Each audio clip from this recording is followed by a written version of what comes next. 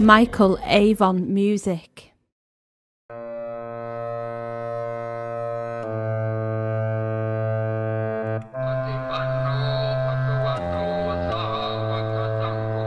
I detoured through the projects, caught a glimpse of hustlers and pimps and jobless folk on corners with ganja smoking hard liquor, trying to dodge killers they call cops who carry badges and long glocks.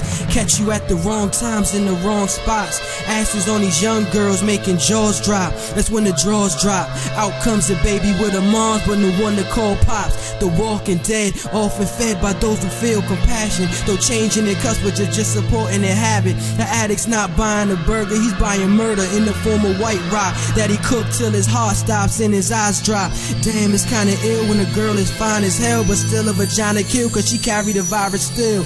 Prostitution, some women's solution to not having dough, letting complete strangers violate their souls. Old man wearing a coat with nothing underneath, flashing police just to get a meal and a place to eat. In a jail cell since a young boy tried to make his pockets swell, selling weed on the top of the hill in plastic bags, but he didn't profit still cause he smoked half his stash with a crooked cop who took half his cash. Asian Z-Rap so liquor through six inch glass. Mom in strip club shaking her ass with thongs on. Why? Cause the babies need food and long johns. The cold's biting hard like nails. Frail kids with squeegees and wash pails. Trying to wash windows. I'm glad that I took this route. Why? Because I see the truth tenfold and realize the shit's wrong. Chopper City all day. LOP nigga. Let's go.